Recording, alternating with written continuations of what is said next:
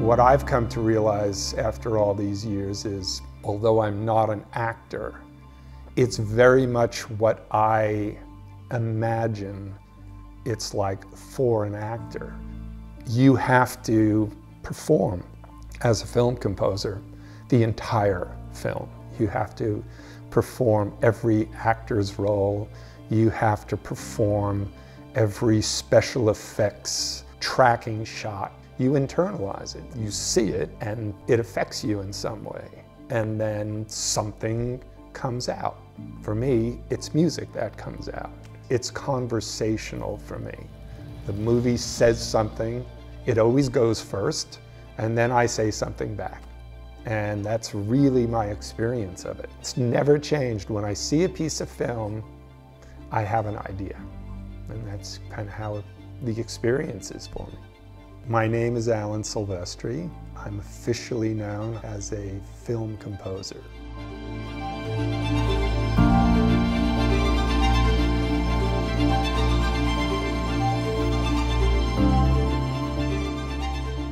The notable films I've worked on, The Doberman Gang was the first. Romancing the Stone was the first real movie, studio picture, movie stars. Back to the Future was the first movie I worked on where there was a level of financial success. And then you look at a movie like Forrest Gump where my favorite or one of my favorite stories about Forrest Gump, um, was that after the film came out, we started to get these reports about, you know, there was a couple in Indiana who hadn't been to a movie theater in 55 years, but they went to see Forrest Gump. When I started to come up, composers were doing amazing things. They were in the middle of this explosion of investigation with sound and how it could effectively help composing for film. One of the places where the technology was really starting to shine was in the world of sound. What we could do with a synthesizer. It was interesting. I kind of was in this little glory day. Before me, studios had orchestras. Someone like Alfred Newman, he had this orchestra and they were there every day. If somebody wanted to hear something or he wanted to try something or whatever it was, he could do this like we do with a DAW, only it was 75 of the greatest living musicians. What started to happen as the technology started to advance, this idea of a digital audio workstation started to appear. All of a sudden, we're going back, that pendulum is swinging back now where, well, there is a way to let somebody hear something before we go to the soundstage. And it actually turns out there's a way for them to hear a lot of what's going to happen. What we've done is we have saved in Cubase track archives. And so what the track archive is, I can import this track archive. All of my mixer settings are preset. All of the tracks are there. Colors are all there. And the whole damage, every one of the damage instruments is loaded right away. So I'm going to go File, Import, Track Archive. Here are all my track archives. Here's one that says damage. Open. These are all 16 tracks of damage instruments, all the different library entries, right? I go, okay. All the damaged tracks have come up. I'm running this in Vienna. It's loaded up all the damage instruments. Everyone's in its own track. All the outputs are pre-assigned. Here's the mixer. Everything is pre-assigned and done. You saw how long it took me to do that. It took no time. And now, every one of the damaged instruments is here. Every one of them, all ready to go. Every one. And that takes like no time. So this is now in Kontakt, right? And this is these are all the damaged libraries. But you can see all this is pre-assigned in the archive. So I do this with everything. Here's action strikes. So I want to use action strikes, right? You can see I've got all these instruments pre-built. They're ensembles, instruments, ensembles, hits, all of that.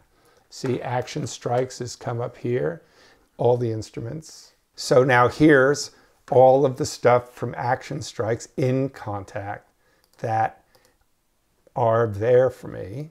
All of the mixer presets that I want, they're done. And here's the instrument. I want to see damage, I go back. Want to see action strikes. And then if I move that over, here, here the action strikes instruments. And they're all here, immediately ready to put in to a sequence. Whatever I want, all ready to go. We have a 90 plus piece orchestra and we're doing, we recorded over 200 minutes of music for Endgame in Abbey Road with that magnificent group of artists.